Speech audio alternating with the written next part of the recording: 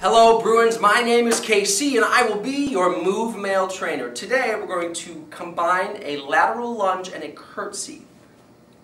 Looks like this. We're going to start with our feet underneath our hips. I'm going to lunge out to the side, sending my hips backwards and my knee stays on top of my ankle. From here I'm going to push off and go immediately into a curtsy lunge. When I curtsy lunge, keep both hips facing the front.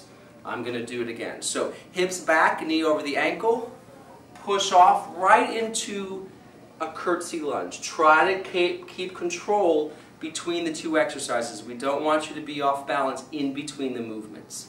Lateral lunge with a curtsy.